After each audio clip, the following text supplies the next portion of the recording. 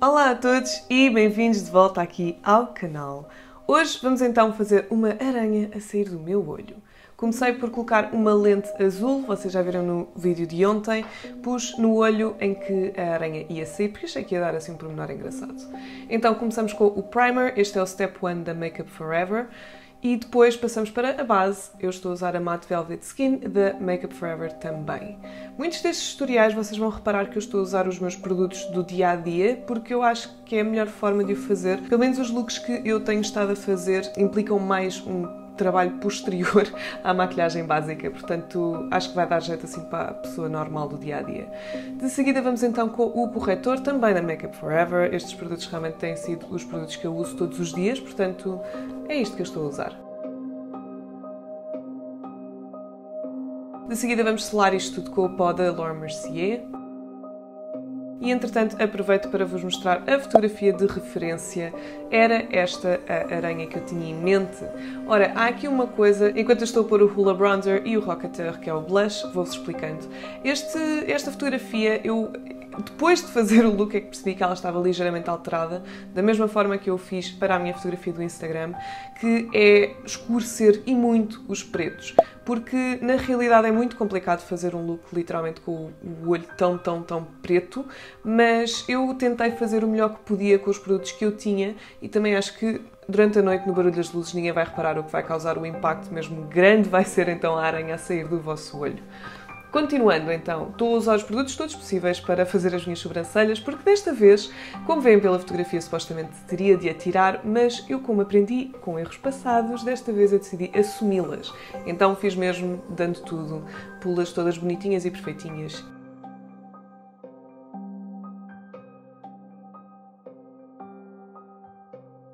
E agora estão a ver a minha cara de ok, bora lá, vamos fazer isto como é que eu faço isto? então eu decidi começar com um eyeliner em gel. Este é da L'Oreal, eu já tenho há anos, mas continua impecável. Super preto, super consistente e é muito fácil de trabalhar. Portanto, fui com um dos meus pincéis inúteis, que vão fazer várias aparições esta semana. Lá está, eles só servem para este tipo de coisas. E depois de espalhar este eyeliner pelo olho todo, fui com uma sombra preta e selei essencialmente o eyeliner para não ir a lado nenhum.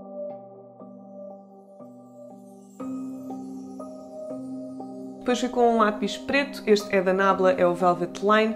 Não é dos melhores lápis pretos que eu já utilizei, mas era o que eu tinha. Portanto, eu passei por dentro da linha d'água superior e inferior, sem preocupar muito com esborratar por baixo, porque eu ia continuar com o preto por baixo. Depois fui com a sombra preta para selar também o eyeliner, ou o lápis preto. E depois passei com a sombra por cima para intensificar ainda mais o preto nos olhos. E agora começamos com as patas. Eu usei o eyeliner da Kat Von D e essencialmente isto são vários passos iguais, uma vez a seguir à outra. Para fazer as patas, eu comecei com uma linha reta e vocês vão estar a ver, eu vou estar a olhar para a fotografia de referência várias vezes para ver o que é que eu estou a fazer, mas essencialmente para as patas ficarem mais realísticas, façam-nas primeiro com uma linha a direito, depois uma linha assim mais curva para parecer que ela está com as patas dobradas e apoiadas em algum sítio e depois mais uma linha reta para ser a ponta da pata. É assim, eu peço desculpa desde já às pessoas que têm fobia a aranhas. Eu sou uma delas, acreditem, pela intro e pela máscara em si, mas eu achei este look tão brutal que eu não consegui resistir. Se bem que, obviamente, na minha opinião, não ficou perfeito, perfeito, mas eu acho que, honestamente, vocês levariam isto a uma festa e iam causar uma sensação gigante, mesmo que não ficasse perfeito, perfeito. Acho mesmo para a pessoa que não tem tanta precisão nas linhas, como é o meu caso, ou tanto jeito para desenhar coisas, como também é o meu caso, acho que se fizerem assim o que eu fiz, vão conseguir criar o look que vocês querem e que as pessoas vão adorar à mesma. Uma coisa que eu achei que dava mais realismo também à aranha, como estava na referência, foi as patas estarem em entre aspas, posições diferentes, portanto, umas estavam mais esticadas, outras estavam mais dobradas, e isso vai se refletir na, no desenho da pata e depois na sombra também, para dar a ilusão de maior distância da cara ou menos distância da cara. Em relação à zona da sobrancelha, eu passei mesmo o eyeliner por cima, como se ela estivesse a passar por cima. Depois com a sombra fiz o mesmo. Eu decidi mesmo passar à frente da história das sobrancelhas porque eu percebi que não conseguia escondê-las, como fizeram neste look de referência, mas eu achei que também não havia problema. Acho que também enfatizou um bocadinho o facto de ser uma aranha assim mais peluda. Uma coisa que eu só me apercebi depois de fazer isto tudo e mandar a fotografia à minha melhor amiga foi ela me ter dito que esta aranha tinha nove patas. E eu pensei, ok, bem visto. no meio disto vocês vão reparar que eu estou tão concentrada que eu, entretanto, esqueço-me que estou a gravar, porque isto foi realmente muito difícil para mim fazer, mas no final do dia vamos dizer que é uma aranha, ou tem nove ou tem sete, vamos ver a seguir, estou-me a esquecer agora, mas a realidade é que ela não tem oito patas. Mas vamos passar à frente disso. Estas patas aqui, como conseguem ver, é um bocado aquela ilusão que eu vos estava a dizer da distância da cara e o facto da pata estar mais ou menos dobrada. Ao pé do nariz era como se ela estivesse apoiada no nariz, portanto eh, as patas estão mais dobradas. E sim, eu sei, eu sou excelente a explicar estas coisas, eu peço imensa desculpa.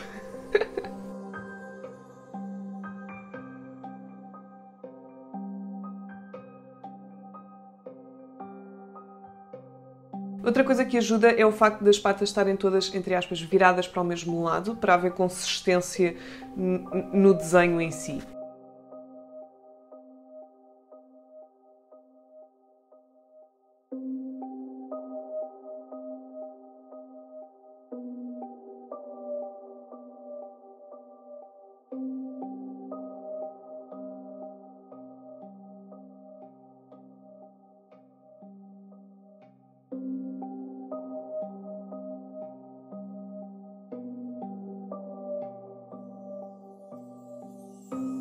Também tentei fazer uma coisa, foi que as partes retas da pata fossem entre aspas, não é em triangulares, mas que começassem mais grossas e terminassem numa ponta para parecer a ponta da pata.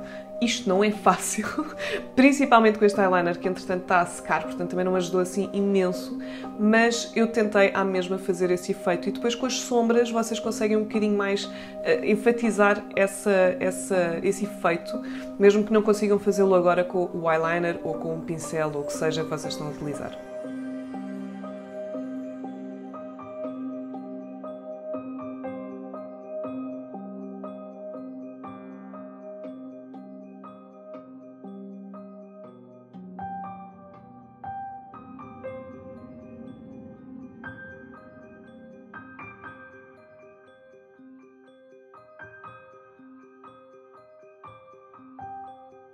Patas feitas, vamos então começar com as sombras. Eu usei mais um dos pincéis inúteis, que é um assim mais fininho, e fui com uma sombra preta e levemente fui criando então as sombras.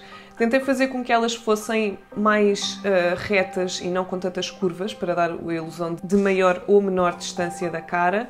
E foi essencialmente isto. Comecei da base do olho e fui fazendo. Fui tentando seguir as curvas da minha cara, portanto, neste caso, estou a usar o facto de ter uma bochecha para ser um bocadinho mais curva.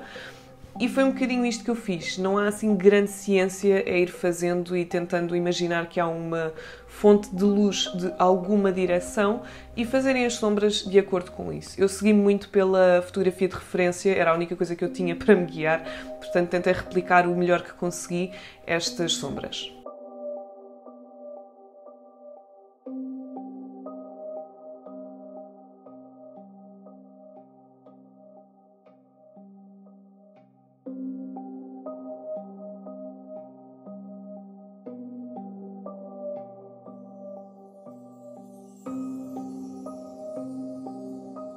Agora estava só aqui a dar um, umas ligeiras esfumadela nas sombras pretas, porque queria que, não, que fosse um bocadinho natural, portanto, obviamente, uma sombra tende a esvanecer ao longo do, do, da sombra em si, portanto, tenta fazer isso pelas sombras todas.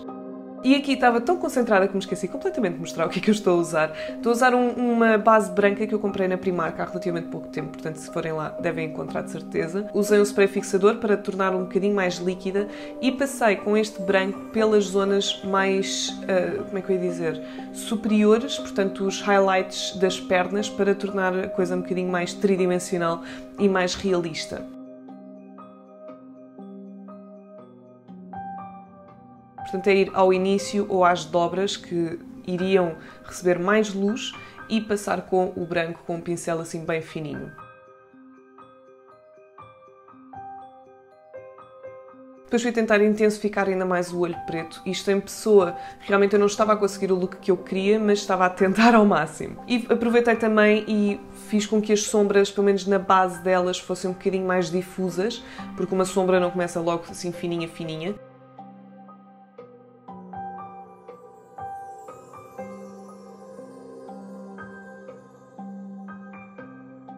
E não sei se já deu para perceber, só que eu nesta altura estava um bocadinho frustrada com este look, porque eu não estava a conseguir exatamente o look que eu queria. Isto é a cara de eu pensar, eu desisto disto ou não desisto disto? Eu decidi continuar em frente porque já tinha tido trabalho suficiente, mas na minha cabeça estava a pensar, isto vai ser péssimo, vai ficar horrível, ninguém vai gostar mas decidi seguir em frente e no outro olho fazer um look normal, assim um olho mais básico. Usei só uma sombra assim mais alaranjada, queimado, para esfumar no côncavo e pôr também na pálpebra móvel. Um olho super simples, eu queria mesmo só fazer como se fosse um olho todos os dias e depois do olho oposto tinha uma aranha aleatoriamente a sair-me do olho. Nesta altura do look eu já me tinha esquecido completamente que estava a gravar, portanto desculpem as posições. Uh, estou aqui a tratar do eyeliner, a tentar fazer com que ele fique tão perfeitinho como eu quero que ele fique.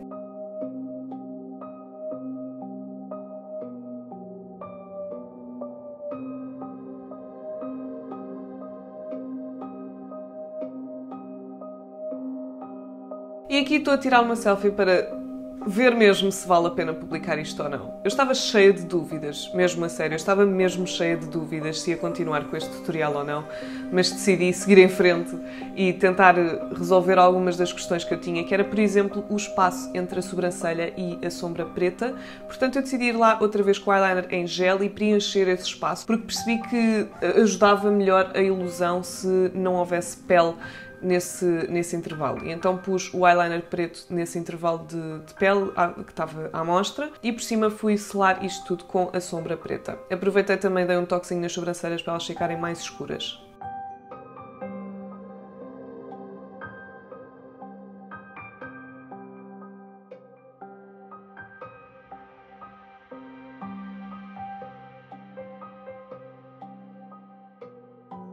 Estava na altura de terminar o outro olho, então fui para a minha máscara de pestanas.